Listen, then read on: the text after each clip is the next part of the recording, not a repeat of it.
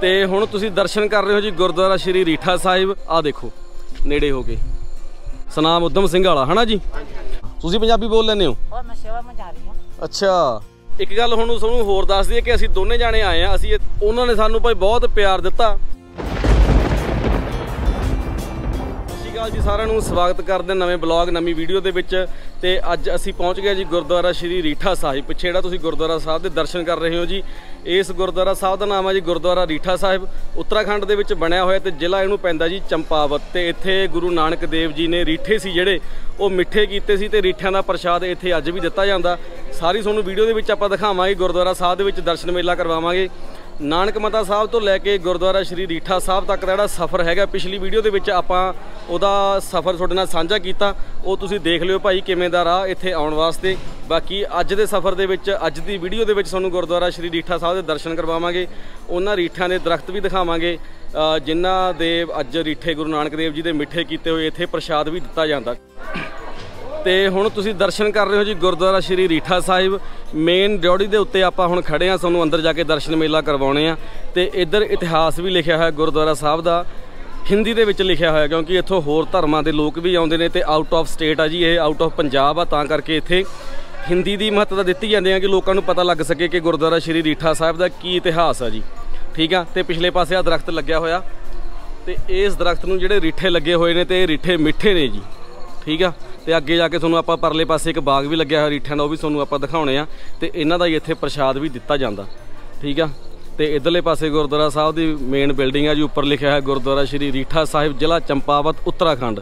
ਠੀਕ ਆ? ਇੱਕ ਪਾਸੇ ਇਤਿਹਾਸ, ਹਿੰਦੀ ਦੇ ਵਿੱਚ ਲਿਖਿਆ ਹੋਇਆ ਤੇ ਇੱਕ ਪਾਸੇ ਇਤਿਹਾਸ ਲਿਖਿਆ ਹੋਇਆ ਜੀ, ਪੰਜਾਬੀ ਦੇ ਵਿੱਚ। ਤੇ ਤੁਸੀਂ ਸਕਰੀਨਸ਼ਾਟ ਲੈ ਕੇ ਭਾਈ ਪੜ੍ਹ ਸਕਦੇ ਹੋ, ਬਾਕੀ ਤੁਹਾਨੂੰ ਮੈਂ ਬੋਲ ਕੇ ਸੰਖੇਪ ਦੇ ਵਿੱਚ ਸ਼ਾਰਟ ਦੇ ਵਿੱਚ ਦੱਸੂਗਾ। ਠੀਕ ਆ?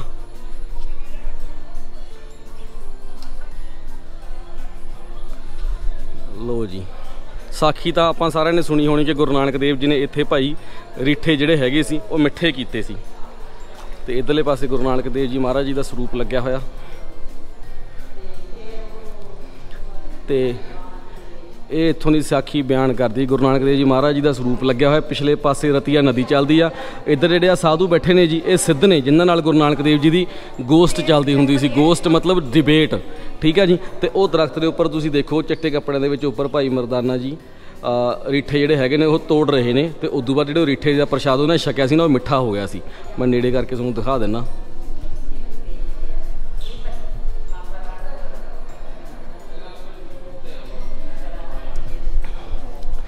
ਠੀਕ ਹੈ ਜੀ।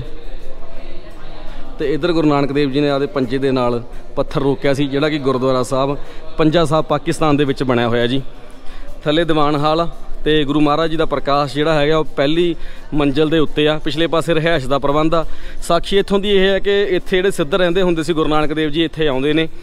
ਤਾਰਨ ਵਾਸਤੇ ਹੀ ਆਉਂਦੇ ਨੇ ਸੰਸਾਰ ਨੂੰ ਤੇ ਜੋ ਗੁਰੂ ਨਾਨਕ ਦੇਵ ਜੀ ਇੱਥੇ ਪਹੁੰਚਦੇ ਨੇ, ਤਾਂ ਉਹ ਸਿੱਧਾਂ ਦੇ ਨਾਲ ਉਹਨਾਂ ਦੀ ਗੋਸਟ ਹੁੰਦੀ ਆ। ਭਾਈ ਮਰਦਾਨੇ ਨੂੰ ਭੁੱਖ ਲੱਗਦੀ ਆ, ਤਾਂ ਭਾਈ ਮਰਦਾਨੇ ਨੂੰ ਗੁਰੂ ਨਾਨਕ ਦੇਵ ਜੀ ਕਹਿੰਦੇ ਨੇ ਕਿ ਤੁਸੀਂ ਸਿੱਧਾਂ ਦੇ ਕੋਲ ਚਲੇ ਜਾਓ, ਉਹਨਾਂ ਕੋਲੋਂ ਕੁਝ ਖਾਣ ਨੂੰ ਲੈ ਆਓ। ਪਰ ਸਿੱਧ ਕਹਿੰਦੇ ਨੇ ਕਿ ਵੀ ਤੇਰੇ ਨਾਲ ਤਾਂ ਜੇ ਗੁਰੂ ਨਾਨਕ ਦੇਵ ਜੀ ਹੈਗੇ ਨੇ, ਐਡੇ ਵੱਡੇ ਨਿਰੰਕਾਰ ਤੁਸੀਂ ਆਪਦੇ ਆਪ ਨੂੰ ਕਹਾਉਣੇ ਹੋ, ਤਾਂ ਤੁਸੀਂ ਆਪਦੇ ਭੋਜਨ ਦਾ ਇੰਤਜ਼ਾਮ ਆਪ ਕਰ ਸਕਦੇ ਹੋ। ਫਿਰ ਉਦੋਂ ਬਾਅਦ ਗੁਰੂ ਨਾਨਕ ਦੇਵ ਜੀ ਨੇ ਇੱਥੇ ਰੀਠਿਆਂ ਦਰਖਤ ਲੱਗੇ ਹੋਏ ਸੀ। ਰੀਠਿਆਂ ਦਾ ਜਿਹੜਾ ਵੈਸੇ ਤੁਸੀਂ ਟੇਸਟ ਕਰੋਗੇ ਨਾ, ਬਹੁਤ ਜ਼ਹਿਰ ਵਰਗੇ ਹੁੰਦੇ ਨੇ ਜੀ, ਬਹੁਤ ਜ਼ਿਆਦਾ ਕੌੜੇ ਹੁੰਦੇ ਨੇ। ਜਿਵੇਂ ਨਿੰਮ ਨੂੰ ਨਮੋਲੀਆਂ ਲੱਗਦੀਆਂ ਹੁੰਦੀਆਂ ਨਾ, ਉਹ ਵਾਲਾ ਹਿਸਾਬ ਕਿਤਾਬ ਹੁੰਦਾ।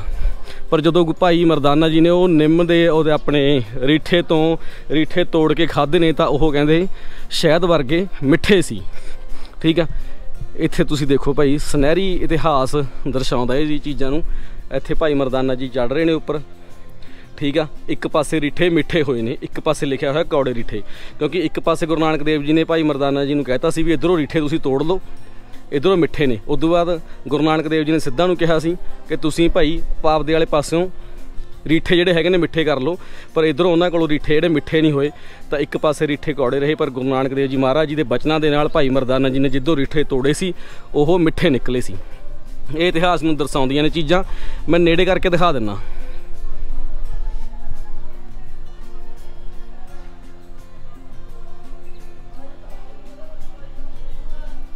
ਇਹ ਆ ਜੀ ਇੱਥੋਂ ਦਾ ਇਤਿਹਾਸ, ਠੀਕ ਆ? ਉਸ ਤੋਂ ਬਾਅਦ ਕਹਿੰਦੇ ਭਾਈ ਮਰਦਾਨਾ ਜੀ ਵੱਲ ਸੱਪ ਵੀ ਛੱਡਿਆ ਗਿਆ, ਪਰ ਗੁਰੂ ਮਹਾਰਾਜ ਜੀ ਨੇ ਸੱਪ ਤੇ ਵੀ ਕਿਰਪਾ ਕੀਤੀ ਤੇ ਸੱਪ ਜਿਹੜਾ ਹੈਗਾ ਸੀ ਉਹ ਪੱਥਰ ਬਣ ਗਿਆ ਸੀ। ਸਕਰੀਨਸ਼ਾਟ ਇਤਿਹਾਸ ਦਾ ਬੋਰਡ ਲੱਗਿਆ, ਤੁਸੀਂ ਲੈ ਕੇ ਪੜ੍ਹ ਸਕਦੇ ਹੋ ਭਾਈ।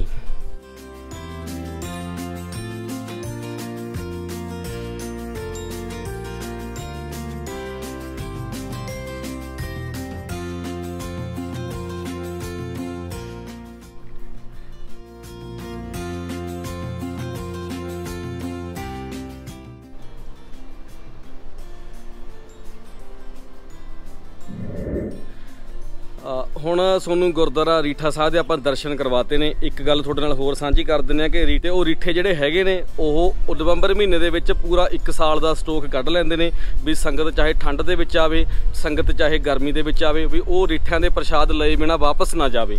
ਠੀਕ ਆ ਜੀ? ਤਾਂ ਉਹ ਨਵੰਬਰ ਦੇ ਮਹੀਨੇ ਦੇ ਵਿੱਚ ਸਾਰਾ ਇੱਕ ਸਾਲ ਦਾ ਸਟਾਕ ਕੱਢ ਲੈਂਦੇ ਨੇ। ਉਹਨਾਂ ਨੂੰ ਫਿਰ ਕਹਿੰਦੇ ਅਸੀਂ ਛਾਂਟ ਲੈਂਦੇ ਆ। ਛਾਂਟ ਕੇ ਮਤਲਬ ਕੋਈ ਖਰਾਬ ਦਾਣਾ ਨਿਕਲ ਜਾਂਦਾ, ਉਹਨੂੰ ਬਾਹਰ ਕੱਢ ਦਿੰਦੇ ਨੇ ਤੇ ਜਿਹੜਾ ਕੋਈ ਸਾਫ਼ ਹੁੰਦਾ, ਉਹਨਾਂ ਨੂੰ ਰੱਖ ਕੇ, ਠੀਕ ਆ ਜੀ? ਫਿਰ ਸੁਕਾ ਕੇ, ਉਦੋਂ ਬਾਅਦ ਫਿਰ ਪ੍ਰਸ਼ਾਦ ਵਜੋਂ ਵੰਡਿਆ ਜਾਂਦਾ ਤੇ ਸੰਗਤ ਆ ਕੇ ਇੱਥੇ ਮੰਗ ਵੀ ਲੈਂਦੀ ਹੈ ਕਿ ਸਾਡੀ ਫੈਮਿਲੀ ਵਾਸਤੇ ਪ੍ਰਸ਼ਾਦ ਜਿਹੜਾ ਹੈਗਾ ਇੱਥੇ ਮਿਲਦਾ।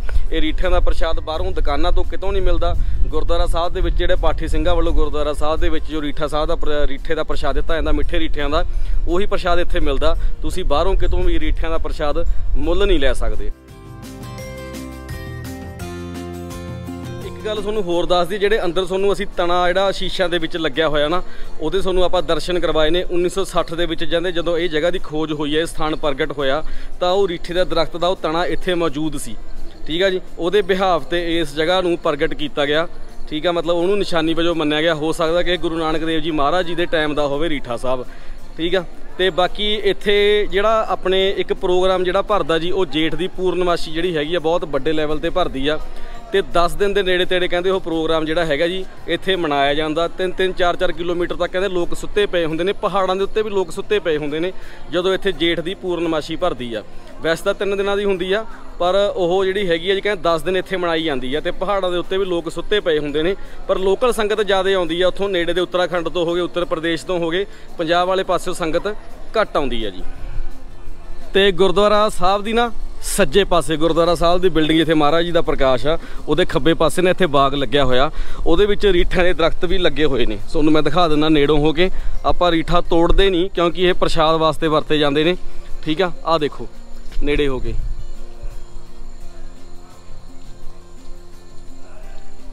ਇਹ ਜਿਹੜੇ ਤੁਸੀਂ ਦਰਸ਼ਨ ਕਰ ਰਹੇ ਹੋ ਜੀ ਰੀਠਿਆਂ ਦੇ, ਠੀਕ ਆ? ਇਹ ਗੁਰੂ ਨਾਨਕ ਦੇਵ ਜੀ ਮਹਾਰਾਜ ਜੀ ਦੇ ਬਚਨਾਂ ਦੇ ਨਾਲ ਜਿਹੜੇ ਇੱਥੇ ਰੀਠਿਆਂ ਦੇ ਦਰਖਤ ਲੱਗੇ ਨੇ, ਉਹ ਮਿੱਠੇ ਹੋਏ ਨੇ। ਠੀਕ ਆ? ਉਂ ਤਾਂ ਇਹ ਜ਼ਹਿਰ ਵਰਗੇ ਕੌੜੇ ਹੁੰਦੇ ਨੇ ਪਰ ਤੁਸੀਂ ਇਹ ਨਾ ਕਹੋ ਵੀ ਜਮਾ ਲੱਡੂ ਵਰਗੇ ਮਿੱਠੇ ਚਾਹੀਦੇ ਨੇ। ਇਹ ਪਰ ਤੁਸੀਂ ਖਾਣ ਜੋਗੇ ਹੁੰਦੇ ਨੇ। ਵੈਸੇ ਰੀਠੇ ਨੂੰ ਤੁਸੀਂ ਜੀਭ ਵੀ ਨਹੀਂ ਲਾ ਸਕਦੇ ਇੰਨਾ ਕੌੜਾ ਹੁੰਦਾ। ਪਰ ਇਹ ਖਾਣ ਯੋਗ ਹੈਗੇ ਨੇ ਸਿਰਫ ਗੁਰੂ ਨਾਨਕ ਦੇਵ ਜੀ ਦੇ ਬਚਨਾਂ ਕਰਕੇ ਨੇੜੇ ਕਰਕੇ ਮੈਂ ਦਿਖਾ ਦਿੰਨਾ। ਇਹ ਰੀਠੇ ਨੇ ਜੀ ਜਿਨ੍ਹਾਂ ਦੇ ਤੁਹਾਨੂੰ ਅਸੀਂ ਦਰਸ਼ਨ ਕਰਵਾ ਰਹੇ ਹਾਂ ਗੁਰੂ ਨਾਨਕ ਦੇਵ ਜੀ ਮਹਾਰਾਜ ਜੀ ਦੇ ਬਚਨਾਂ ਦੇ ਨਾਲ ਮਿੱਠੇ ਕੀਤੇ ਹੋਏ। ਬਾਕੀ ਭਾਈ ਸੰਗਤ ਨੂੰ ਇੱਕ ਹੋਰ ਬੇਨਤੀ ਹੈ, ਜਿਹੜੇ ਦਰਖਤਾਂ ਦੇ ਉੱਤੇ ਰੀਠੇ ਲੱਗੇ ਹੁੰਦੇ ਨੇ ਨਾ ਉਹਨਾਂ ਨੂੰ ਨਾ ਤੋੜਿਆ ਕਰੋ ਯਾਰ। ਕਿਉਂਕਿ ਗੱਲ ਇਹ ਹੈ ਕਿ ਇਹ ਜਿਹੜੇ ਰੀਠੇ ਹੈਗੇ ਨੇ ਪ੍ਰਸ਼ਾਦ ਵਾਸਤੇ ਵਰਤੇ ਜਾਂਦੇ ਨੇ, ਸਾਰੇ ਸਾਲ ਦਾ ਸਟੋਕ ਕੱਢਣਾ ਹੁੰਦਾ। ਕਿਸੇ ਵੀ ਸੰਗਤ ਦੇ, ਕਿਸੇ ਵੀ ਸ਼ਰਧਾਲੂ ਦੇ ਮੂੰਹ 'ਚ ਇਹ ਪੈਣੇ ਹੁੰਦੇ ਨੇ ਤੇ ਬਹੁਤ ਦੂਰੋਂ ਦੂਰੋਂ ਸੰਗਤਾਂ ਆਉਂਦੀਆਂ ਨੇ, ਇੰਨਾ ਦੂਰ ਸਫ਼ਰ ਕਰਕੇ ਆਉਂਦੀਆਂ ਨੇ, ਹਨਾ? ਤੇ ਉਹਨਾਂ ਨੂੰ ਪ੍ਰਸ਼ਾਦ ਤੋਂ ਜੇ ਵਾਪਸ ਮੁੜ ਜਾਣ ਤਾਂ ਉਹ ਫਿਰ ਔਖਾ ਹੁੰਦਾ ਭਾਈ। ਪ੍ਰਸ਼ਾਦ ਇੱਥੇ ਮਿਲਦਾ, ਮੂੰਹ ਮੰਗਿਆ ਮਿਲਦਾ, ਤੁਸੀਂ ਫੈਮਿਲੀ ਵਾਸਤੇ ਲੈ ਕੇ ਜਾਣਾ ਫੈਮਿਲੀ ਵਾਸਤੇ ਵੀ ਲਿਜਾ ਸਕਦੇ ਹੋ। ਪਰ ਭਾਈ, ਆਪਣੇ ਆਪ ਤੋੜ ਕੇ ਤੁਸੀਂ ਜੇਬਾਂ ਨਾ ਭਰਿਆ ਕਰੋ, ਕਿਉਂਕਿ ਇਹ ਰੀਠੇ ਸਿਰਫ ਪ੍ਰਸ਼ਾਦ ਵਾਸਤੇ ਵਰਤੇ ਜਾਂਦੇ ਨੇ। ਤੇ ਇਹ ਭਾਈ ਗੁਰਦੁਆਰੇ ਸਾਹਿਬ ਵਾਲੇ ਜਿਹੜੇ ਪਾਠੀ ਸਿੰਘ ਨੇ, ਉਹਨਾਂ ਕੋਲੋਂ ਵੀ ਬੇਨਤੀ ਹੁੰਦੀ ਆ ਇਹ। ਠੀਕ ਆ? ਸ਼ਰਦਾ ਮੈਨੂੰ ਪਤਾ ਵੀ ਚਲੋ, ਦੂਰੂ ਮਹਾਰਾਜ ਦੀ ਨਿਸ਼ਾਨੀ ਵਜੋਂ ਲੋਕ ਲੈ ਕੇ ਜਾਣਾ ਚਾਹੁੰਦੇ ਨੇ ਵੀ ਅਸੀਂ ਘਰੇ ਲੈ ਜਾਈਏ। ਪਰ ਆਪਾਂ ਮਰਿਆਦਾ ਦਾ ਵੀ ਭਾਈ ਧਿਆਨ ਰੱਖਣਾ ਹੁੰਦਾ। ਨੀਚੇ ਡਿੱਗੇ ਹੋਏ ਨੇ, ਤੁਸੀਂ ਜ਼ਰੂਰ ਉਹਨੂੰ ਚੱਕ ਸਕਦੇ ਹੋ। ਪਰ ਫਿਲਹਾਲ ਇਹਨਾਂ ਦਰਖਤਾਂ ਤੇ ਲੱਗਿਆ ਹੋਇਆਂ ਨੂੰ ਨਾ ਤੋੜਿਆ ਕਰੋ। ਬਾਕੀ ਤੁਸੀਂ ਭਾਈ ਸਾਰੇ ਮੇਰੇ ਨਾਲ ਉਹ ਸਿਆਣੇ ਹੋ, ਪਿਛਲੇ ਪਾਸੇ ਰਹਿائش ਦਾ ਪ੍ਰਬੰਧ ਆ ਤੇ ਇਧਰਲੇ ਪਾਸੇ ਸਾਹਮਣੇ ਆ ਜੀ ਲੰਗਰ ਹਾਲ। ਠੀਕ ਹੈ ਜੀ। ਤੇ ਇਧਰਲੇ ਪਾਸੇ ਵੀ ਰਹਿائش ਦਾ ਪ੍ਰਬੰਧ ਆ। ਇੱਥੇ ਫਿਲਹਾਲ ਕੋਈ ਕਮਰੇ ਦਾ ਪੈਸਾ ਨਹੀਂ ਲਿਆ ਜਾਂਦਾ, ਜਾਂ ਫਿਰ ਜਿਹੜੀ ਸੰਗਤ ਦੇ ਨਾਲ ਅਸੀਂ ਆਏ ਆ ਭਾਈ, ਉਹਨਾਂ ਵੱਲੋਂ ਪ੍ਰਬੰਧ ਕੀਤਾ ਗਿਆ ਹੋਣਾ ਬੱਸਾਂ ਵਾਲਿਆਂ ਵੱਲੋਂ ਪਹਿਲਾਂ ਤੋਂ। ਠੀਕ ਆ? ਤੇ ਹੁਣ ਆਪਾਂ ਤੁਹਾਨੂੰ ਬਾਹਰਲੇ ਪਾਸੇ ਲੈ ਕੇ ਚੱਲਦੇ ਆ। ਤੇ ਭਾਈ ਆ ਜਿਹੜੀਆਂ ਤੁਸੀਂ ਗੱਡੀਆਂ ਦੇਖ ਰਹੇ ਹੋ ਨਾ ਜਿੱਥੇ ਬੱਸਾਂ ਖੜਦੀਆਂ ਨੇ ਉਹ ਇੱਥੋਂ ਘੱਟੋ ਘੱਟ 100 ਮੀਟਰ ਦੇ ਨੇੜੇ ਤੇੜੇ ਆ ਤੇ ਚੜ੍ਹਾਈ ਤੇ ਹੀ ਬਣਿਆ ਹੋਇਆ। ਤਾਂ ਇਹ ਗੱਡੀਆਂ ਜਿਹੜੀਆਂ ਹੈਗੀਆਂ ਨੇ ਸੇਵਾ ਚਲਾਈਆਂ ਗਈਆਂ ਨੇ। ਭਾਈ ਜਿਹੜੇ ਬੈਗ ਬੁੱਗ ਭਾਰੀ ਨੇ ਸੰਗਤਾਂ ਨਾਲ ਲੈ ਕੇ ਉਹਨਾਂ ਨੂੰ ਇੱਥੇ ਤੱਕ ਲਿਆ ਦੇਣ। ਠੀਕ ਹੈ ਜੀ। ਤੇ ਆ ਭਾਈ ਆਪਾਂ ਨੂੰ ਸੰਗਤ ਗੁਰਦੁਆਰਾ ਸ਼੍ਰੀ ਰੀਠਾ ਸਾਹਿਬ ਦੇ ਵਿੱਚ ਮਿਲੀ ਆ ਤੇ ਇਹ ਸਨਾਮ ਤੋਂ ਆਏ ਤੁਸੀਂ ਜੀ? ਤੇ ਕਿਵੇਂ ਕਰ ਲੈ ਦਰਸ਼ਨ ਮੇਲਾ? ਹਾਂਜੀ ਵਧੀਆ ਦਰਸ਼ਨ ਮੇਲਾ ਕਰ ਲਿਆ ਜੀ ਅਸੀਂ। ਅਜੇ ਉਰੇ ਦਾ ਕਰਨਾ ਜੀ। ਅੱਛਾ ਉਰੇ ਜੀ ਕਰਨਾ ਹੈ। ਅੱਛਾ ਜੀ। ਅਸੀਂ ਹੁਣ ਚੱਲ ਕੇ ਆਏ ਆ ਨਾਨਕ ਮੱਤਾ ਸਾਹਿਬ ਤੋਂ। ਨਾਨਕ ਮਤਾ ਸਾਹਿਬ ਤੋਂ। ਕਿਹੜੀ ਬੱਸ 'ਚ ਆਏ ਤੁਸੀਂ? ਅੱਜ ਫਰੀਦ ਬੱਸ ਤੋਂ ਆਏ ਹਾਂ ਜੀ। ਪ੍ਰੀਤ ਬੱਸ 'ਚ ਆਏ ਹੋ। ਬਹੁਤ ਵਧੀਆ ਸਫ਼ਰ ਰਿਹਾ ਜੀ ਤ- ਇੱਥੇ ਤੱਕ। ਠੀਕ ਹੈ ਜੀ। ਸਾਰੀ ਸੰਗਤ ਸਨਾਮ ਤੋਂ ਆਈ ਆ ਕਿ ਅੱਡ ਅੱਡ ਮਤਲਬ ਸਨਾਮ ਦੇ ਨੇੜੇ ਤੇੜੋ? ਸਨਾਮ ਦਾ ਇਲਾਕਾ ਹੀ ਹੈ ਜੀ ਸਾਰਾ। ਸਾਰਾ ਸਨਾਮ ਦਾ ਇਲਾਕਾ ਹੀ ਆ ਜੀ। ਸਨਾਮ ਦਾ ਇਲਾਕਾ ਜੀ। ਠੀਕ ਹੈ ਠੀਕ ਹੈ ਠੀਕ ਹੈ ਜੀ। ਕੋਈ ਹੋਰ ਸਨੇਹਾ ਲਾਉਣਾ ਹੋਵੇ? ਸ- ਅੱਜ ਚੋਣਾਂ ਨੂੰ ਅਸੀਂ ਵਧੀਆ ਸਾਡਾ ਸੁਨੇਹਾ ਤੇ ਅੱਗੇ ਕਿੱਥੇ ਤੱਕ ਜਾਣਾ ਤੁਸੀਂ ਸਫ਼ਰ ਕਰਨ? ਅਸੀਂ ਅਨੰਦਪੁਰ ਸਾਹਿਬ ਤੱਕ ਜਾਣਾ ਹੈ ਜੀ। ਆਨੰਦਪੁਰ ਹਜੂਰ ਸਾਹਿਬ। ਹਜੂਰ ਸਾਹਿਬ ਜਾਣਾ। ਪਟਨਾ ਸਾਹਿਬ ਵੀ ਜਾਣਾ ਤੁਸੀਂ? ਅੱਛਾ ਫਿਰ ਸਾਡੇ ਵਾਲੇ ਰੂਟ ਆ ਅਸੀਂ ਵੀ ਪਟਨਾ ਸਾਹਿਬ ਵਾਲੇ ਪਾਸੇ ਹੋ ਕੇ ਫਿਰ ਉਦੋਂ ਬਾਅਦ ਜਾਣਾ ਜੀ। ਹਜੂਰ ਸਾਹਿਬ। ਠੀਕ ਹੈ ਜੀ ਆ ਸੰਗਤ ਭਾਈ ਸਨਾਮ ਤੋਂ ਆਈ ਹੈ ਸਾਰੀ। ਸਨਾਮ ਉਦਮ ਸਿੰਘ ਵਾਲਾ ਹਨਾ ਜੀ? ਠੀਕ ਹੈ ਜੀ ਫਿਰ। ਵਾਹਿਗੁਰੂ ਜੀ ਕਾ ਖਾਲਸਾ ਵਾਹਿਗੁਰੂ ਜੀ ਕੀ ਫਤਿਹ ਜੀ।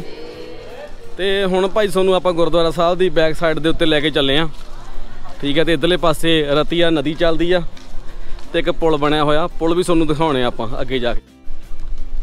ਤੇ ਇਧਰਲੇ ਪਾਸੇ ਚੱਲਦੀ ਆ ਜੀ ਨਦੀ। ਰਤੀਆ, ਗੁਰੂ ਨਾਨਕ ਦੇਵ ਜੀ ਮਹਾਰਾਜ ਜੀ ਦੇ ਟਾਈਮ ਵੀ ਹੈਗੀ ਸੀ ਇਹ। ਠੀਕ ਹੈ ਜੀ, ਇਧਰਲੇ ਪਾਸੇ ਕੋਈ ਸੇਵਾ ਚੱਲ ਰਹੀ ਹੋਣੀ। ਠੀਕ ਹੈ ਜੀ। ਐ ਕਿਤਾਬ ਬਾਬਾ ਜੀ, ਵਾਹਿਗੁਰੂ ਜੀ ਕਾ ਖਾਲਸਾ, ਵਾਹਿਗੁਰੂ ਜੀ ਕੀ ਫਤਿਹ ਜੀ। ਬਾਬਾ ਜੀ, ਸੇਵਾ ਚੱਲ ਰਹੀ ਆ? ਕਿਸ ਚੀਜ਼ ਦੀ ਜੀ? ਗੱਡੀਆਂ ਪਾਰ ਕਰੀਆਂ ਨਦੀ ਵਿੱਚ ਫਿਰ ਰੇਤਾ ਤੇ ਬਦਲੀ ਭਰ ਕੇ ਜਾਣਾ ਪਾ ਅੱਛਾ, ਗੱਡੀਆਂ ਪਾਰ ਹੁੰਦੀਆਂ ਨੇ ਇਧਰੋਂ? ਅੱਛਾ ਅੱਛਾ ਅੱਛਾ ਠੀਕ ਹੈ ਠੀਕ ਹੈ ਠੀਕ ਹੈ ਜੀ। ਟਰੈਕਟਰ ਲੰਘ ਰਿਹਾ ਠੀਕ ਆ। ਪੱਥਰ ਲਾ ਕੇ ਫਿਰ ਰਾਹ ਬਣ ਜਾਂਦਾ ਹੈ। ਠੀਕ ਹੈ ਠੀਕ ਹੈ ਠੀਕ ਹੈ ਇਹ ਭਾਈ ਇੱਥੋਂ ਟਰੈਕਟਰ ਟਰੂਕਟਰ ਲੰਘਦੇ ਨੇ ਨਦੀ ਦੇ ਵਿੱਚ ਦੀ ਪਰਲੇ ਪਾਸੇ ਜਾਣ ਵਾਸਤੇ ਨਾ ਫਿਰ ਪੱਥਰ ਇੱਥੇ ਸਿੱਟ ਸਿੱਟ ਕੇ ਰਾਹ ਬਣਾਏ ਜਾਂਦੇ ਨੇ। ਆ ਭਾਈ ਗੁਰਦੁਆਰਾ ਸਾਹਿਬ ਦੇ ਇਧਰਲੇ ਪਾਸੇ ਬਾਜ਼ਾਰ ਆ ਕੰਧ ਦੇ ਨਾਲ ਨਾਲ। ਠੀਕ ਆ? ਆ ਠੰਡ ਠੰਡ ਵਾਲੇ ਕੱਪੜੇ ਵੀ ਸੁੱਕਣੇ ਪਾਏ ਹੋਏ ਨੇ ਕਿਉਂਕਿ ਰਾਤ ਨੂੰ ਇੱਥੇ ਭਾਈ ਠੰਡ ਹੁੰਦੀ ਆ, ਤਾਂ ਕਰਕੇ ਇੱਥੇ ਠੰਡ ਵਾਲੇ ਕੱਪੜੇ ਸੁੱਕਣੇ ਪਾਏ ਹੋਏ ਨੇ। ਤੇ ਆ ਜਿਹੜਾ ਪਿੱਛੇ ਤੁਸੀਂ ਸ਼ਹਿਰ ਦੇਖ ਰਹੇ ਹੋ ਜੀ, ਇਸ ਸ਼ਹਿਰ ਦਾ ਨਾਮ ਵੀ ਹੈਗਾ ਰੀਠਾ ਸਾਹਿਬ ਤੇ ਜ਼ਿਲ੍ਹਾ ਜਿਹੜਾ ਇਸ ਨੂੰ ਪੈਂਦਾ ਜੀ, ਉਹ ਪੈਂਦਾ ਚੰਪਾਵਤ। ਠੀਕ ਆ? ਬਾਜ਼ਾਰ ਛੋਟਾ ਜਿਹਾ, ਕੋਈ ਵੱਡਾ ਸ਼ਹਿਰ ਨਹੀਂ ਹੈਗਾ। ਮੈਂ ਕਹਿੰਦਾ 100 ਘਰ ਮਸਾ ਹੋਣਾ ਇੱਥੇ ਗਿਣਤੀ ਦਾ। ਤੇ ਸਿੱਖਾਂ ਦੇ ਪਰਿਵਾਰ ਬਹੁਤ ਘੱਟ ਨੇ। ਪੁਲ ਪੇ ਜਾਣੇ ਕੇ ਲਈ ਕਿੱਧਰ ਸੇ ਜਾਣਾ? ਇਧਰ ਸੇ? ਥੈਂਕਸ ਬ్రో ਜੀ। ਆ ਪੁਰਾਣੇ ਟਾਈਪ ਦਾ ਘਰ ਆ, ਬਾਲਿਆਂ ਬੁੱਲਿਆਂ ਵਾਲੀਆਂ ਛੱਤਾਂ ਪਾਈਆਂ ਹੋਈਆਂ ਨੇ। ਇਧਰਲੇ ਪਾਸੇ ਭਾਈ ਮੰਦਿਰ ਬਣਿਆ ਹੋਇਆ, ਸ਼ੁਭ ਲਾਭ ਲਿਖਿਆ ਹੋਇਆ ਇਹਦੇ ਉੱਤੇ। ਤੇ ਆ ਭਾਈ ਇੱਥੇ ਹਲਦੀ ਦੇ ਬੂਟੇ ਲੱਗੇ ਹੋਏ ਨੇ, ਤੇ ਇੱਥੋਂ ਤੁਸੀਂ ਸ਼ਹਿਰ ਦੇਖ ਲਓ। ਮੈਂ 100 ਘਰ ਮੈਨੂੰ ਲੱਗਦਾ ਮੈਂ ਜ਼ਿਆਦਾ ਕਹਿ ਗਿਆ, ਇੱਥੇ 50 ਕੀ ਹੋਣੇ ਭਾਈ। ਰੀਠਾ ਸਾਹਿਬ ਦੇ ਵਿੱਚ ਪਿਛਲੇ ਪਾਸੇ ਦੇ ਠਾਣਾ ਪੈਂਦਾ। ਠੀਕ ਆ, ਇਧਰੋਂ ਹੁਣ ਆਪਾਂ ਚੱਲਦੇ ਆ ਪੁਲ ਦੇ ਉੱਤੇ। ਤੇ ਜਿਹੜਾ ਰੀਠਾ ਸਾਹਿਬ ਵਾਲਾ ਗੁਰਦੁਆਰਾ ਸਾਹਿਬ ਆ ਨਾ ਇਹ ਬਹੁਤ ਠੰਡਾ ਏਰੀਆ ਤੇ ਜਿਹੜੇ ਆਪਾਂ ਹੁਣ ਮਹੀਨੇ ਚ ਆਏ ਆ, ਰਾਤ ਨੂੰ ਇੱਥੇ ਵਧੀਆ ਠੰਡ ਹੋਊਗੀ ਤੇ ਜੇ ਤੁਸੀਂ ਦਸੰਬਰ, ਜਨਵਰੀ ਦੇ ਮਹੀਨੇ ਦੇ ਵਿੱਚ ਆਉਣੇ ਹੋ ਨਾ, ਤਾਂ ਇੱਥੇ ਬਹੁਤ ਠੰਡ ਹੁੰਦੀ ਆ। ਇਹਦਾ ਜਿਹੜਾ ਐਲਟੀਟਿਊਡ ਆ ਭਾਈ, ਉਹ ਘੱਟੋ ਘੱਟ 30000 ਫੁੱਟ ਦੇ ਉੱਤੇ ਇੱਥੇ ਲਿਖਿਆ ਹੋਇਆ 29000 ਸਮਥਿੰਗ ਆ। ਤੁਸੀਂ 30000 ਲਾ ਲਓ। 30000 ਦੇ ਉੱਤੇ ਇਹਦਾ ਐਲਟੀਟਿਊਡ ਆ। ਐਲਟੀਟਿਊਡ ਮਤਲਬ ਜਿਹੜਾ ਆਪਾਂ ਨੇ ਸਟੇਸ਼ਨਾਂ 'ਤੇ ਤੁਸੀਂ ਕਦੇ ਪੜਿਆ ਹੋਣਾ ਇੱਥੇ ਲਿਖਿਆ ਹੁੰਦਾ ਸਮੁੰਦਰ ਤਲ ਤੋਂ ਉਚਾਈ। ਠੀਕ ਆ? ਸਮੁੰਦਰ ਤਲ ਤੋਂ ਉਚਾਈ ਕਿਉਂ ਮਾਪੀ ਜਾਂਦੀ ਆ? ਜਿਹੜਾ ਕੋਈ ਵੀ ਪਾਣੀ ਹੁੰਦਾ ਨਾ ਕਦੇ ਵੀ, ਉਹ ਹਮੇਸ਼ਾ ਪੱਧਰ ਜਗ੍ਹਾ ਦੇ ਉੱਤੇ ਖੜਦਾ ਹੁੰਦਾ। ਜਿੱਥੇ ਇਹ ਨਹੀਂ ਹੈ ਕਿ ਪਾਣੀ ਕਿਸੇ ਆਪਾਂ ਬੋਤਲ ਦੇ ਵਿੱਚ ਪਾ ਦਾਂਗੇ ਤਾਂ ਪਾਣੀ ਇੱਕ ਪਾਸੋਂ ਨੀਵਾ ਹੋ ਜਾਊਗਾ, ਜੇ ਇੱਕ ਪਾਸੋਂ ਟੇਢਾ ਹੋ ਜਾਊਗਾ। ਪਾਣੀ ਜਦੋਂ ਤੁਸੀਂ ਬੋਤਲ ਦੇ ਵਿੱਚ ਪਾਓਗੇ, ਤਾਂ ਉਹ ਆਪਣੇ ਆਪ, ਆਪਣਾ ਉਹ ਜਿਹੜਾ ਸਰਫੇਸ ਆ ਨਾ, ਉਹ ਪਲੇਨ ਕਰ ਲੈਂਦਾ ਉੱਪਰ ਤੋਂ। ਤਾਂ ਇਸ ਕਰਕੇ ਧਰਤੀ ਜਿਹੜੀ ਹੈਗੀ ਆ, ਉਹ ਗੋਲ ਆ। ਤਾਂ ਇਹਨਾਂ ਨੇ ਫਿਰ ਉਹ ਜਿਹੜੀ ਐਲਟੀਟਿਊਡ ਦੀ ਜਿਹੜੀ ਲੰਬਾਈ ਆ ਨਾ ਲੈਂਥ ਮਾਪਣ ਵਾਸਤੇ, ਇਹਨਾਂ ਨੇ ਸਾਇੰਟਿਸਟ ਜਿਹੜੇ ਹੈਗੇ ਨੇ ਉਹਨਾਂ ਨੇ ਸਮੁੰਦਰ ਜਿਹੜਾ- ਹੈਗਾ, ਉਹ ਉਹਨੂੰ ਬੇਸ ਮੰਨਿਆ ਇਹਨਾਂ ਨੇ। ਵੀ ਸਮੁੰਦਰ ਜਿਹੜਾ ਹੁੰਦਾ ਨਾ, ਉਹ ਪਾਣੀ ਹਮੇਸ਼ਾ ਪੱਧਰ ਥਾਂ ਦੇ ਉੱਤੇ ਖੜਦਾ ਤੇ ਉਹਨੂੰ ਬੇਸ ਮੰਨ ਕੇ ਫਿਰ ਸਮੁੰਦਰ ਤਲ ਦੀ ਉਚਾਈ ਦੇ ਉੱਤੋਂ ਜਗਾਵਾਂ ਦੇ ਐਲਟੀਟਿਊਡ ਜਿਹੜੇ ਹੈਗੇ ਨੇ, ਉਹ ਮਿਣ ਕੇ ਫਿਰ ਇੱਥੇ ਲਿਖੇ ਜਾਂਦੇ ਨੇ। 30000 ਐਲਟੀਟਿਊਡ ਕਾਫੀ ਜ਼ਿਆਦਾ ਹੁੰਦਾ। ਪਿੱਛੇ ਆ ਜੀ ਗੁਰਦੁਆਰਾ। ਰੀਠਾ ਸਾਹਿਬ ਦੇ ਤੁਸੀਂ ਦਰਸ਼ਨ ਕਰ ਰਹੇ ਹੋ। ਤੇ ਹੁਣ ਆਪਾਂ ਤੁਹਾਨੂੰ ਪੁਲ ਦੇ ਉੱਤੇ ਲੈ ਕੇ ਚੱਲਦੇ ਹਾਂ। ਇਹ ਕੁਝ ਗਿਆਨ ਦੀਆਂ ਗੱਲਾਂ ਨੇ, ਕੰਮ ਦੀਆਂ ਗੱਲਾਂ ਨੇ। ਪੁਆਇੰਟ ਟੂ ਵੀ ਨੋਟਡ ਹੋਣਾ ਚਾਹੀਦਾ ਹੈ। ਠੀਕ ਹੈ? ਤੇ ਹੁਣ ਆਪਾਂ ਚੱਲਦੇ ਆਂ ਭਾਈ ਅੱਗੇ ਇਧਰਲੇ ਪਾਸੇ ਐ ਮਾਹੌਲ ਆ। ਤੇ ਉਹ ਗੁਰਦੁਆਰਾ ਸਾਹਮਣੇ ਰੀਠਾ ਸਾਹਿਬ, ਇਧਰ ਸਰਾਂ ਨਿਸ਼ਾਨ ਸਾਹਿਬ ਦੇ ਦਰਸ਼ਨ ਕਰ ਰਹੇ ਹੋ, ਪਿਛਲੇ ਪਾਸੇ ਰਹਿائش ਦਾ ਪ੍ਰਬੰਧ ਆ। ਲੰਗਰ ਹਾਲ ਦਾ ਪ੍ਰਬੰਧ ਆ ਜੀ, ਇੱਥੇ ਸ਼ਾਮ ਨੂੰ ਜੋ ਪ੍ਰੋਗਰਾਮ ਹੋਊਗਾ, ਉਹਦੇ ਆਪਾਂ ਤੁਹਾਨੂੰ ਦਰਸ਼ਨ ਮੇਲਾ ਕਰਵਾਵਾਂਗੇ। ਆਲੇ ਦਾਲੇ ਪਹਾੜੀ ਪਹਾੜ ਨੇ, ਉਧਰਲੇ ਪਾਸੇ ਤੁਸੀਂ ਪਹਾੜ ਦੇਖ ਰਹੇ ਹੋ, ਬੱਦਲਾਂ ਦੇ ਵਿੱਚ ਰਚੇ ਹੋਏ ਨੇ। ਠੀਕ ਹੈ ਇੱਥੇ ਕੰਮ ਕਰਨ ਵਾਲੀਆਂ ਮਾਈਆਂ ਫਿਰਦੇ ਨੇ, ਹਲਦੀ ਚਾਰੇ ਪਾਸੇ ਲੱਗੀ ਹੋਈ ਆ, ਝੋਨਾ ਲੱਗਿਆ ਹੋਇਆ। ਤੇ ਐ ਆ ਜੀ ਮਾਹੌਲ ਇੱਥੋਂ ਦਾ, ਠੀਕ ਆ? ਹੁਣ ਤੁਹਾਨੂੰ ਆਪਾਂ ਸਿੱਧਾ ਲੈ ਕੇ ਚੱਲਦੇ ਆ ਸਾਹਮਣੇ ਵਾਲੇ ਪੁਲ ਦੇ ਉੱਤੇ। ਆਈਆਂ ਉਹ ਵਾਪਸ ਚਲੀਆਂ ਗਈਆਂ ਚਾਰ ਬੱਸਾਂ ਅੱਜ ਹੋਰ ਆਈਆਂ ਨੇ। ਆ ਜਾਈਆਂ ਨਾ? ਹਾਂ ਤੁਸੀਂ ਪੰਜਾਬੀ ਬੋਲ ਲੈਂਦੇ ਹੋ? ਔਰ ਮੈਂ ਸੇਵਾ ਮੈਂ ਜਾ ਰਹੀ ਹਾਂ। ਅੱਛਾ ਤੁਸੀਂ ਯਹੀਂ ਕੇ ਹੋ ਆਪ? ਜੀ। ਲੈ ਤੁਸੀਂ ਪੰਜਾਬੀ ਅੱਛਾ ਅੱਛਾ ਕੋਹਲੀ ਹੋ। ਤੁਸੀਂ ਪੰਜਾਬੀ ਬੋਲੀ ਜਾਂਦੇ ਮੈਂ ਹਿੰਦੀ ਚ ਹੋ ਗਿਆ ਤੁਹਾਡੇ ਨਾਲ। ਹਾਂ ਕੋਈ ਬਾਤ ਨਹੀਂ ਮਲਟੀ ਟੈਲੈਂਟਡ ਲੇਡੀਜ਼ ਆ ਹੇਅਰ ਤੇ ਹੁਣ ਭਾਈ ਆਪਾਂ ਤੁਹਾਨੂੰ ਅੱਗੇ ਆਹ ਦਿਖਾਉਣੇ ਆ ਤੁਹਾਨੂੰ ਬ੍ਰਿਜ ਇਹ ਜਿਹੜਾ ਬ੍ਰਿਜ ਹੈਗਾ ਇਹ ਵਾਟਰ ਕ੍ਰਾਸਿੰਗ ਵਾਸਤੇ ਆ। ਠੀਕ ਆ। ਤੇ ਇੱਕ ਨਾ ਮੈਂ ਹੋਰ ਚੀਜ਼ ਤੁਹਾਨੂੰ ਦਿਖਾਉਣਾ ਭਾਈ ਇੱਥੋਂ ਦੀ। ਆ ਜਿਹੜਾ ਕੁੱਪ ਜਿਹਾ ਬਣਾਇਆ ਹੋਇਆ ਤੂੜੀ ਵਾਲਾ ਇਹ ਇਹ ਤਾਂ ਐਂ ਲੱਗਦਾ ਜਿਵੇਂ, ਹਨਾ, ਇਹ ਚੀਜ਼ ਦੀ ਮੈਨੂੰ ਹਰਦੀਪ ਨੇ ਕਿਹਾ, ਕਹਿੰਦਾ ਐਂ ਕਰ, ਪੁੱਛ ਭਾਈ ਕਿਸੇ ਨੂੰ। ਤੇ ਆ ਦੇਖੀ ਪੌੜੀਆਂ ਐਵੇਂ ਦੀਆਂ ਨੇ। ਕਿੰਨੀਆਂ ਉਹ ਲਾਈਆਂ ਉਹਦੇ ਹਿਸਾਬ ਨਾਲ ਦੇਖੀ। ਪੱਥਰ ਕੱਢ ਕੇ ਵਿੱਚ ਦੀ। ਹਾਂ। ਇਹ ਜਗਾੜ ਪਹਾੜਾਂ ਵਾਲੀ ਲਾ ਸਕਦੇ ਨੇ। ਆਪਣੇ ਨਾਲ ਤਾਂ ਭੰਨ ਹੀ ਲੈਂਦੇ ਵਿਚਾਲੋਂ ਵੀ, ਇਧਰੋਂ ਭੰਨ ਕੇ ਚੱਲਦੇ ਆ। ਤੇ ਉਹ ਬਣਾਵੇ ਠੱਡੇ ਜੇ ਹਾਂ ਅਪਰਾਲੀ ਇਹ ਸਾਈ ਵੀ ਆਏ ਹਾਂ ਇਹ ਕਹਿੰਦੇ ਵੀ ਜਦੋਂ ਪਸ਼ੂਆਂ ਨੂੰ ਪਾਉਣੇ ਆ ਭਾਈ ਆਪਾਂ ਕਹਿੰਦੇ ਤੇ ਵਿੱਚੋਂ ਖਿੱਚ ਲੈਨੇ ਆ ਬਸ ਖਿੱਚ ਕੇ ਉਹਨਾਂ ਦੇ ਮੂਹਰੇ ਪਾ ਦਿੰਨੇ ਆ ਐਂ ਜੇ ਗੱਲ ਕਲੀਅਰ ਕਰਕੇ ਇਹ ਭਾਈ ਬਤਾਏਗਾ ਯਾਰ ਭਾਈ ਇਹ ਕੀ ਚੀਜ਼ ਹੈ किसका हाँ हाँ कि, किसका किस काम आता है ये ਉਹ ਉਹ ਝੋਨੇ ਦਾ ਕੀ ਪਤਾ ਇਹਨੂੰ किस काम आता है ये कि मतलब पशुओं को च- चारा के चारे के लिए या क्या करते हो फिर ऐसे क्यों लटकाया है ये ਅੱਛਾ ਠੀਕ ਹੈ ਠੀਕ ਹੈ ਥੈਂਕਸ ਥੈਂਕਸ ਤੇ ਹੁਣ ਤੁਹਾਨੂੰ ਆਪਾਂ ਲੈ ਕੇ ਚੱਲੇ ਆਂ ਭਾਈ ਪੁਲ ਤੇ ਹਾਂ ਇਹ ਬਸ ਜ- ਅਹ ਇੱਕ ਸ਼ੋਅ ਵਾਸਤੇ ਆ ਠੀਕ ਆ ਕਿਉਂਕਿ ਜਿਹੜੀ ਸੰਗਤ ਰੀਠਾ ਸਾਹਿਬ ਆਉਂਦੀ ਆ ਨਾ ਤਾਂ ਇੱਥੇ ਆ ਕੇ ਫੋਟੋਆਂ ਫੂਟੋਆਂ ਕਰਾ ਕੇ ਜਾਂਦੀ ਆ ਤੇ ਇਧਰਲੇ ਪਾਸੇ ਐ ਜਾਲੀ ਜੀ ਬੰਨੀ ਹੋਈ ਆ ਤਾਰਾਂ ਜੀਆਂ ਬੰਨੀਆਂ ਹੋਈਆਂ ਨੇ ਤੇ ਇੱਥੋਂ ਗੁਰਦੁਆਰਾ ਸਾਹਿਬ ਦਾ ਵਿਊ ਜਿਹੜਾ ਹੈਗਾ ਐਵੇਂ ਲੱਗਦਾ ਜੀ ਠੀਕ ਆ ਇਧਰਲੇ ਪਾਸੇ ਆ ਬ੍ਰਿਜ ਆ ਇਹ ਰਤੀਆ ਨਦੀ ਚੱਲਦੀ ਆ। ਬਸ ਇਹਨੂੰ ਕ੍ਰਾਸਿੰਗ ਵਾਸਤੇ ਬਣਾਈ ਹੋਈ ਆ ਪਰਲੇ ਪਾਸੇ ਲੋਕਾਂ ਦੇ ਘਰ ਹੋਣੇ ਜਾਂ ਕੱਖ ਕੰਡੇ ਵਾਸਤੇ ਜਾਂਦੇ ਹੋਣੇ ਭਾਈ।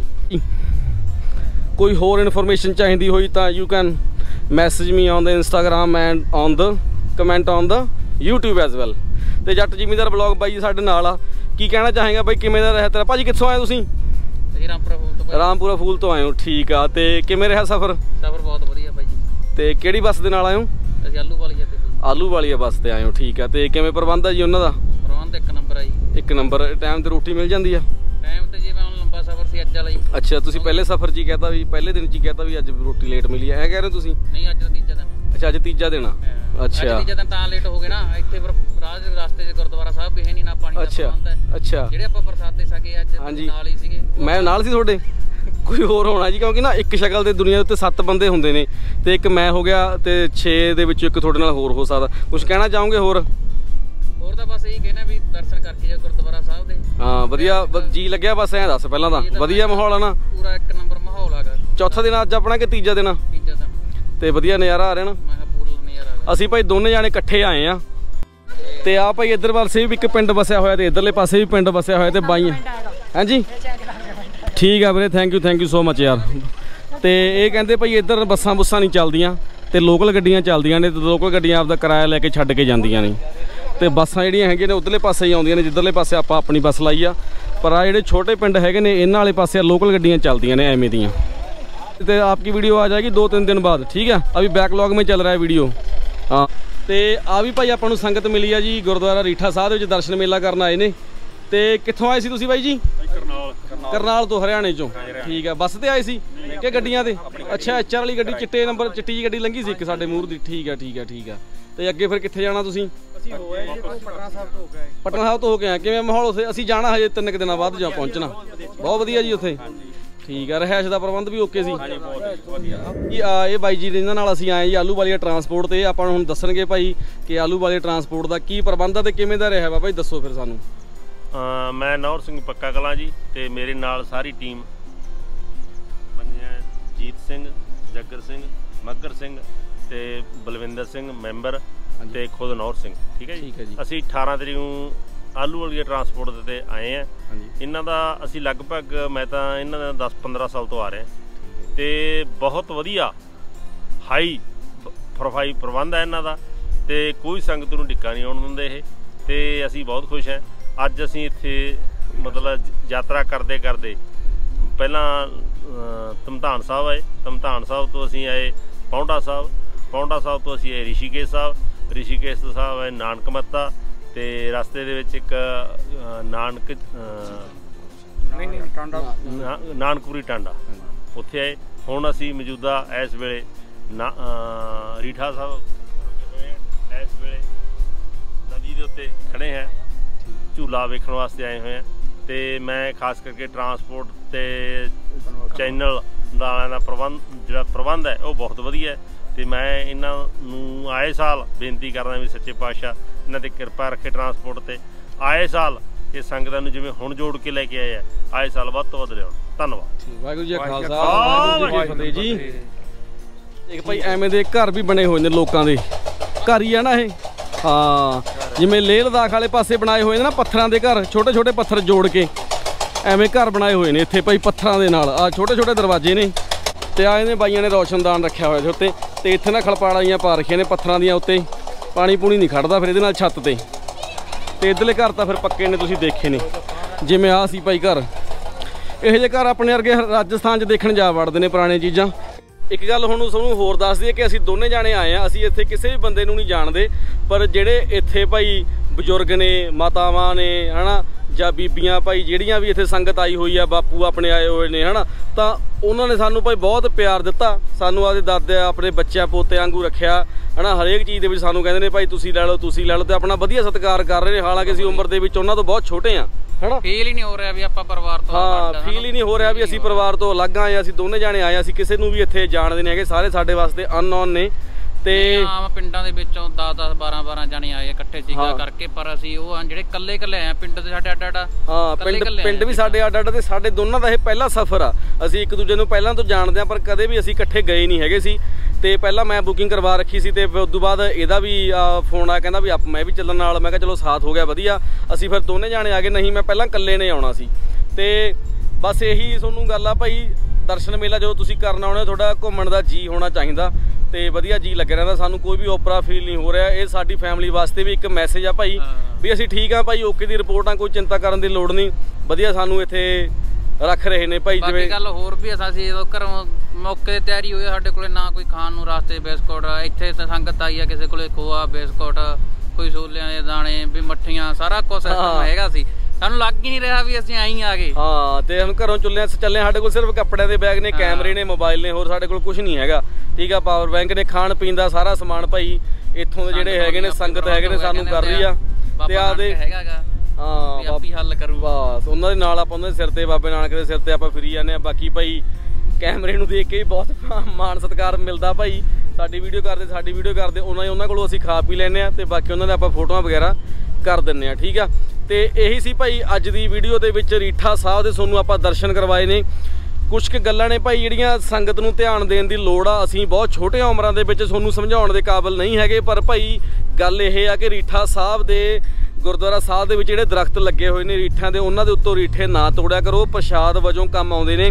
ਦੂਰੋਂ ਦੂਰੋਂ ਬਾਹਰਲੇ ਮੁਲਕਾਂ ਤੋਂ ਸੰਗਤ ਆਉਂਦੀ ਹੈ, ਇੱਥੇ ਮੱਥਾ ਟੇਕਣ ਵਾਸਤੇ ਤੇ ਉਹ ਬਿਨਾਂ ਪ੍ਰਸ਼ਾਦ ਤੋਂ ਮੁੜ ਜੇ ਜਾਂ ਰੀਠਿਆਂ ਦਾ ਪ੍ਰਸ਼ਾਦ ਥੋੜਾ ਰਹਿ ਜੇ, ਫਿਰ ਉਹ ਔਖਾ ਹੁੰਦਾ। ਹਨਾ, ਤੁਸੀਂ ਡਾਇਰੈਕਟ ਤੋੜ ਕੇ ਖਾਓਗੇ, ਤੁਹਾਨੂੰ ਕੌੜੇ ਵੀ ਲੱਗਣਗੇ ਇਹ। ਵਧੀਆ ਸੰਗ, ਇਹਨਾਂ ਨੂੰ ਆਪਣੇ ਸੁਕਾ ਕੇ ਵਧੀਆ ਪ੍ਰਸ਼ਾਦ ਤਿਆਰ ਕਰਕੇ ਸੰਗਤ ਦੇ ਵਿੱਚ ਵਰਤਾਉਂਦੇ ਨੇ। ਤਾਂ ਇਹ ਗੱਲਾਂ ਦਾ ਧਿਆਨ ਰੱਖਿਆ ਕਰੋ ਭਾਈ, ਅਸੀਂ ਬਾਕੀ ਸਮਝਾਉਣ ਜੋਗੇ ਤਾਂ ਅਸੀਂ ਨਹੀਂ ਹੈਗੇ, ਪਰ ਜਿੰਨੀ ਗੱਲ ਸਾਨੂੰ ਪਤਾ ਵੀ ਮਰਿਆਦਾ ਦਾ ਧਿਆਨ ਰੱਖਣਾ ਬਹੁਤ ਫਰਜ਼ ਹੁੰਦਾ। ਅਸੀਂ ਬਹੁਤ ਦੂਰੋਂ ਦੂਰੋਂ ਆਏ ਆ ਮੈਂ ਵੀ ਰੀਠਾ ਸਾਹਿਬ ਪਹਿਲੀ ਵਾਰੀ ਆਇਆ, ਪਰ ਆਪਾਂ ਮਰਿਆਦਾ ਨੂੰ ਨਾ ਤੋੜੀਏ। ਮਰਿਆਦਾ ਦੇ ਵਿੱਚ ਰਹਿੰਦੇ ਹੋਏ ਆਪਾਂ ਗੁਰੂ ਸਾਹਿਬ ਦੇ ਦਰਸ਼ਨ ਕਰਦੇ ਹੋਏ। ਤੇ ਭਾਈ ਜਿਹੜੇ ਗੁਰਦੁਆਰਾ ਸਾਹਿਬ ਦੇ ਵਿੱਚ ਆਪਾਂ ਜਾਂਦੇ ਆ ਨਾ, ਉੱਥੋਂ ਦਾ ਇਤਿਹਾਸ ਤੁਹਾਨੂੰ ਪਤਾ ਹੋਣਾ ਚਾਹੀਦਾ। ਤੇ ਕੱਲ ਨੂੰ ਜੇ ਤੁਹਾਨੂੰ ਕੋਈ ਪੁੱਛਦਾ ਵੀ ਹੈ ਨਾ, ਇਹ ਨਾ ਹੋਏ ਕਿ ਤੁਸੀਂ ਇੱਥੇ ਆਏ ਹੋ ਰੀਠਾ ਸਾਹਿਬ, ਮੱਥਾ ਟੇਕ ਕੇ ਵਾਪਸ ਚਲੇ ਜਾਓ, ਇੱਥੋਂ ਕੁਝ ਦੇਖ ਕੇ ਨਾ ਜਾਓ ਥੱਕੇ ਹਾਰੀ ਸੰਗਤ ਆਉਂਦੀ ਆ। ਤਿੰਨ ਦਿਨ ਹੋ ਗਏ ਲਗਾਤਾਰ, ਅਸੀਂ ਸਿਰਫ 3-3 ਘੰਟੇ ਸੌਂ ਰਹੇ ਹਾਂ ਕਿਉਂਕਿ ਵੀਡੀਓ ਐਡੀਟਿੰਗ ਦੇ ਵਿੱਚ ਬਹੁਤ ਟਾਈਮ ਲੱਗਦਾ। ਇਹ ਨਹੀਂ ਹੈ ਕਿ ਕੈਮਰੇ ਦੇ ਵਿੱਚ ਵੀਡੀਓ ਬਣਾਈ ਤੇ ਅਪਲੋਡ ਕਰਤੀ। ਇਹ ਬਹੁਤ ਟਾਈਮ ਲੈਂਦੀ ਆ, ਰੋਜ਼ ਸਾਨੂੰ 11 12 ਵੱਜਦੇ ਹੀ ਵੱਜਦੇ ਨੇ ਤੇ ਸਵੇਰੇ 3 ਵਜੇ ਉੱਠਦੇ ਆ ਅੱਜ ਤੀਜਾ ਦਿਨ ਆ ਕਿ ਅਸੀਂ 3-3 ਘੰਟੇ ਸੌਂ ਕੇ ਸਫ਼ਰ ਦੇ ਨਾਲ ਫਿਰ ਰਹੇ ਹਾਂ। ਫਿਰ ਵੀ ਅਸੀਂ ਥੱਕੇ ਹੋਏ ਫੀਲ ਨਹੀਂ ਕਰ ਰਹੇ ਕਿਉਂਕਿ ਸਾਨੂੰ ਇੱਥੇ ਨਜ਼ਾਰਾ ਹੀ ਬਹੁਤ ਆ ਰਿਹਾ। ਇਹੀ ਸੀ ਅੱਜ ਦੀ ਵੀਡੀਓ ਦੇ ਵਿੱਚ। ਵੀਡੀਓ ਨੂੰ ਸ਼ੇਅਰ ਜ਼ਰੂਰ ਕਰ ਦਿਓ। ਨੈਕਸਟ ਵੀਡੀਓ ਦੇ ਨਾਲ ਆਪਾਂ ਕੱਲ ਨੂੰ ਫਿਰ ਅਪਲੋਡ ਕਰਾਂਗੇ ਤੇ ਮਿਲਾਂਗੇ ਤੁਹਾਨੂੰ। ਵਾਹਿਗੁਰੂ ਜੀ ਕਾ ਖਾਲਸਾ। ਵਾਹਿਗੁਰੂ ਜੀ ਕੀ ਫਤਿਹ।